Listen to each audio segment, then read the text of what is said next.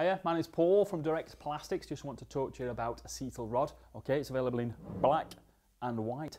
And uh, acetal rod is very hard. It's very slippy. Uh, machines fantastically well. Um, chips, uh, doesn't wrap around your tools. Um, it leaves a lovely smooth finish and does very little burrs, etc. Um, it absorbs minimum amounts of moisture, which means it doesn't expand, etc. And also, it's great for food applications. Got some 12 mil diameter acetal rod just to get an idea of its flexibility. So that's 12 mil.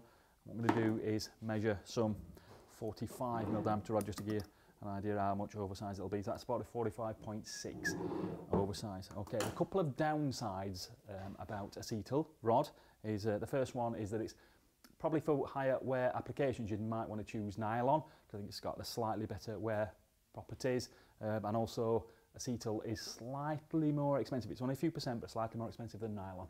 But there you go, uh, acetal rod.